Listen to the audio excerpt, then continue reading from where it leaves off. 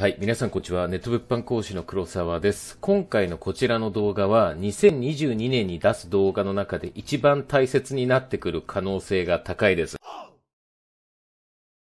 350運日ある中でどういう料金でそんなことを話してるのかっていうと、2022年、2023年のアマゾンでの物販がどうなっていくかっていう予言をお話しするからです。これ予言といっても、その予兆みたいなものっていうのは昨年ぐらいから徐々にありましたし、さらに言うとこの5年間の変化っていうのを考えていくと、どのベクトルにアマゾンが進んでいくのかっていうのは、うすうす気づいてる方も多いと思うんですが、ほぼ確実にそうなるであろうと物販講師の自分が考えている2022年というよりは2023年頃までのアマゾンがどうなっていくかという話をさせていただきます。今回の動画もし参考になったなっていう方よろしければ、高評価、チャンネル登録いただければ幸いです。3つ予言したいと思うんですが、1つ目、アカウント解説やエラーコード5665という新規出品を行った際にブランド名を入力すると出てくるエラー以外にも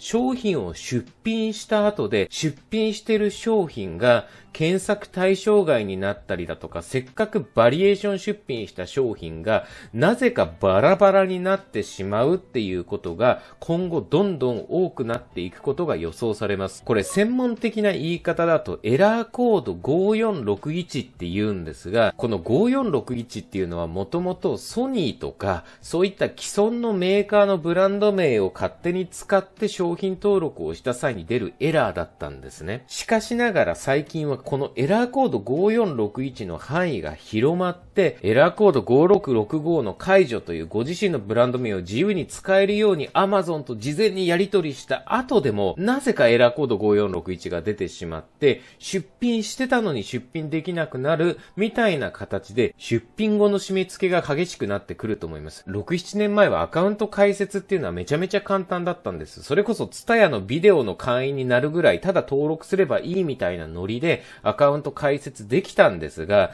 2017年、2018年に Amazon 詐欺が横行したことにより、まずこのアカウント開設が厳しくなりました。そしてその後アカウント開設できた後に自分のブランド名を勝手に考えて入力した際にエラーコード5665が出てきて、新規出品するのが難しくなってきました。ここまでが最近の流れだったんですが、今後の流れはアカウント開設も無事終わったエラーコード5665の解除も行ってご自身のブランド名が使えるようになった、出品した、ああよかったって胸を撫で下ろしていたら、出品後の商品がいきなり出品できなくなるっていう状況になります。そのぐらい Amazon の監視が厳しくなってくるっていうのが、2022年、2023年に確実に起こります。ご参考までに Excel 形式、CSV 形式で商品登録を行った際に入手できる処理レポートの中に書かれているエラーコード5461の公式の説明について書かせていただきます。こちらの文面は動画下の説明欄にも貼らせていただきますので、ご興味ある方は読んでみてください。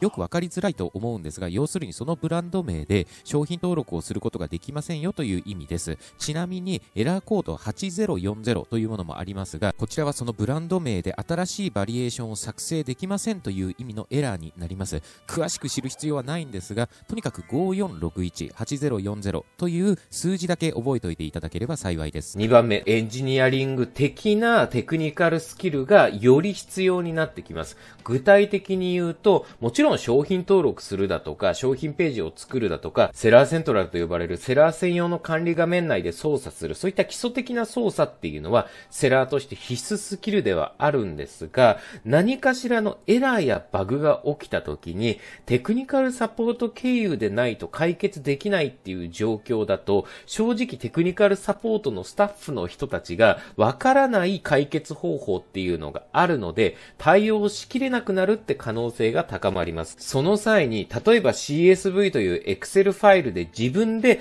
バラバラになったバリエーションを統合したりだとか、場合によってはバリエーション登録をセラーセントラル上ではなく Excel ファイルで一括アップロードするやり方だとか、テクニカルサポート、Amazon のセラー専用窓口のスタッフの人も5人に1人だとか、10人に1人とかしか把握してないようなやり方で、しっかりと対応することができる人でないと、何かと行き詰まるっていうことが起こり得ます。そして3つ目。一つ目と二つ目の根本的な解決策になるんですが、出品した後の商品まで監視されてしまったり、出品後の商品がばらけてしまったから元に戻そうとした時に、エラーコード5461の壁っていうのがより高くなっているって話は少しさせていただいたんですが、根本的にその状況を解決したいのであれば、商標登録を行って Amazon ブランド登録を行って、Amazon 上でというよりは、法律的に自分の商材をブランドでガッチガチに保護している人が、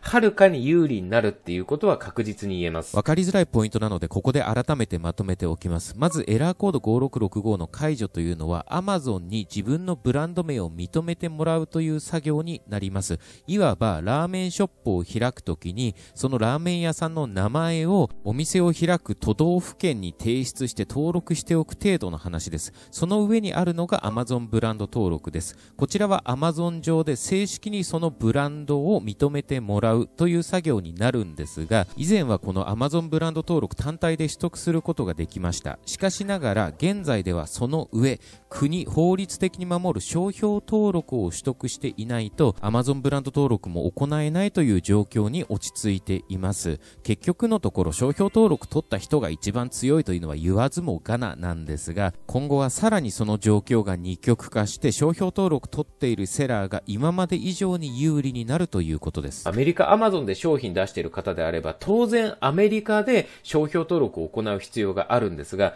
日本と比べてもアメリカの商標登録ってめちゃめちゃ時間とコストがかかるんですね。どのカテゴリーで商標登録するか、どのブランド名で商標登録するか、どのような商標登録の種類、例えばブランドの名前で商標登録するのか、ブランドのロゴ、マークですね。で商標登録するのかっていうのを決める必要があるんですが、日本だと1カテゴリー、専門的な言い方だと類似群コードと言いますが、1類似群コード、1ブランド名で十数万円ぐらいあれば、半年ぐらいでできるんですよ。一方、アメリカだと1カテゴリー、1ブランドで商標登録するのも、11ヶ月とか1年弱ぐらいかかるし、コストも30万から50万ぐらいかかっちゃう。日本の倍以上かかってしまうんですね。もう一つ補足なんですが、通常はご自身のブランド名を入力したり、ジャンコード、GS1 事業者コードを入力して商品登録するわけですが、製品コードを免除して申請する、俗に言うノーブランドで商品を販売するというやり方もあります。今ご覧いただいている手順で進めていく形になるんですが、こちらについては情報や手順をまとめて別途動画にいたしますので、ぜひチャンネル登録よろしくお願いいたします。というわけで3つの予言をさせていただいたんですが、その解決策として私が提示しているのは、まさに今自分が生徒さんと行ってるみたいに、共同買い付けを行うことだと思うんですね。一人で商標登録を行って50万円コストがかかるっていうと、かなり躊躇してしまうじゃないですか。しかしながら5人で共同買い付けを行っていれば、その5人で10万円ずつ出せば商標登録が行えちゃうわけなんですね。ダーウィンの進化論でも述べられている通り、最も強い人でも賢い人でもなく、最も変化に順応できたもののみが生き残こるのであるという言葉通りのことが Amazon の世界でも起こり始めます。じゃあどうすればいいかっていう解決策は各々のお考えがあるとは思うんですが、やはり自分としてはジャズのようなイメージで、一人一人の力はしっかりと活かす、活かしきるんだけれども、